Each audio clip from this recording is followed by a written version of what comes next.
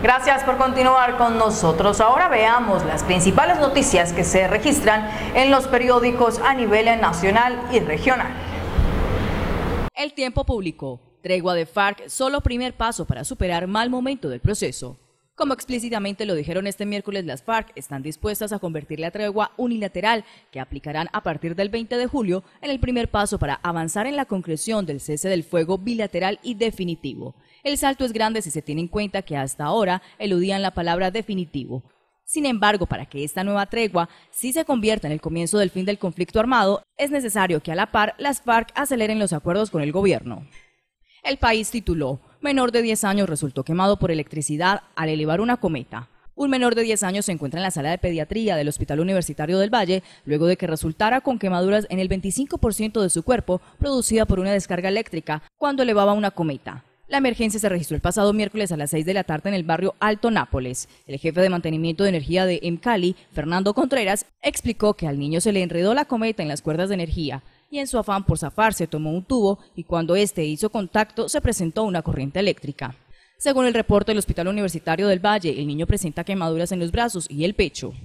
El diario de Lotún tituló Drogas, insumo de los homicidios. Al igual que en parte del territorio colombiano, en la capital resaraldense la principal causa de los homicidios se debe al control del microtráfico. Esta misma tendencia se presenta en el área metropolitana de Pereira, porque de los 106 asesinatos que se registraron desde enero hasta junio de 2015, un total de 97 de ellos estarían involucrados con la venta de estupefacientes y el ajuste de cuentas entre bandas delincuenciales.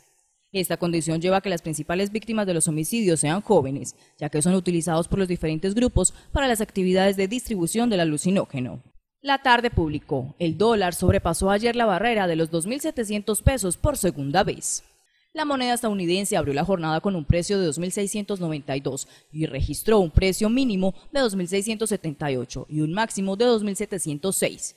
A la una de la tarde la divisa cerró en 2.683. El monto negociado durante la jornada fue de más de un millón de dólares en 1.904 operaciones. Juan David Ballén, analista de Casa Bolsa, dijo que la subida del dólar no ha sido ninguna sorpresa, debido a que desde inicios de año ha considerado que el dólar alcanzará los 2.800 pesos por la normalización de la política monetaria en Estados Unidos los bajos precios del petróleo, el panorama económico local y el impago de la deuda en Grecia en eurozona.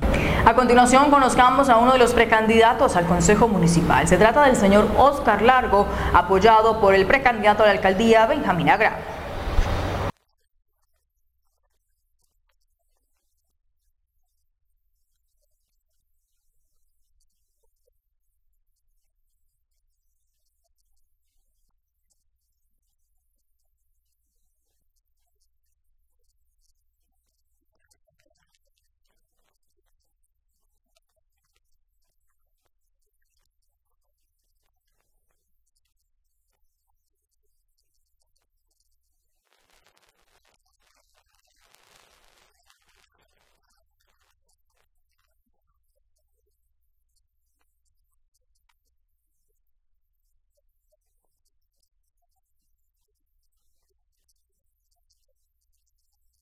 El próximo 31 de julio, la Fuerza Aérea estará realizando una jornada de incorporación para aquellos jóvenes que no han definido su situación militar.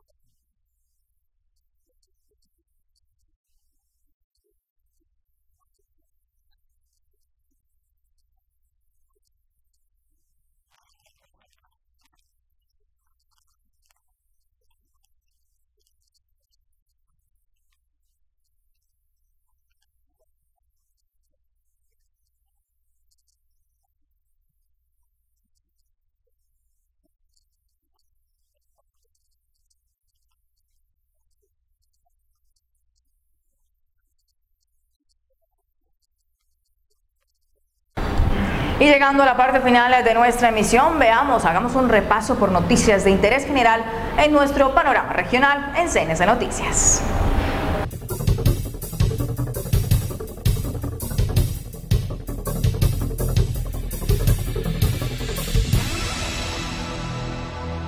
Son 150 maestros quienes fueron desvinculados de sus labores, siendo la mayoría de básica primaria. Así lo confirmó el secretario de Educación de Tuluá, Magister Gustavo Bermúdez. Es muy triste, ¿verdad?, para la administración municipal y lógicamente para las familias de los docentes que no ganaron el concurso y que por ende eh, fueron retirados de la administración municipal porque vinieron por las audiencias públicas que se hicieron, los que ganaron el concurso vinieron a reclamar sus puestos. Hay tres factores fundamentales, es la suerte a veces que lleva a uno a presentar un examen y ganarlo, la otra es falta de estudio y falta de presentación oportuna de documentos para el concurso. El funcionario también manifestó que hay una luz de esperanza para 40 de ellos. Pero tenemos una gran fortuna, la administración municipal en nombre del señor alcalde José Germán Gómez determinó que eh, nos acogíamos a la jornada única y eso nos conlleva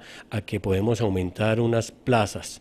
Eh, esas plazas que se van a, se, tuvimos la oportunidad de aumentar, se van a llenar parte de esos docentes que sufrieron esa problemática en unas áreas fundamentales. Asegura que estas plazas suplirían la necesidad al implementar la jornada única escolar. Tenemos entre 20 y 40 plazas que tenemos la posibilidad de eh, llenar con estos nuevos docentes que son necesarios para poder atender la jornada única en Tuluá en 11 instituciones y en 40 sedes respectivas afirmó que el proceso de vinculación de estos 40 educadores se estaría realizando antes de finalizar el mes de julio.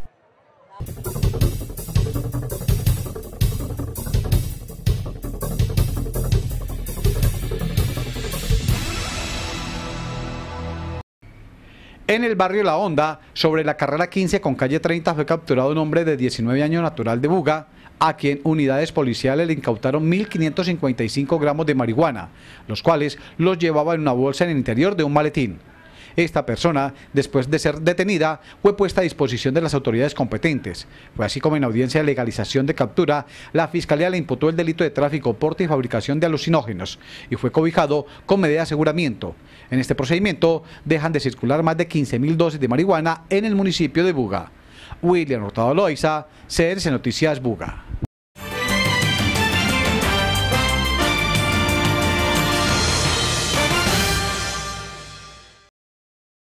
Y con esta información nos despedimos por el día de hoy. Gracias por habernos acompañado. Recuerden que pueden seguirnos a través de nuestras redes sociales, en Twitter, arroba CNC Cartago y en Facebook nos encuentran como CNC Cartago. Los esperamos nuevamente mañana a las seis y media de la mañana con CNC Noticias Matinal y a las 7 de la noche de nuevo con nuestra emisión central. Hasta entonces.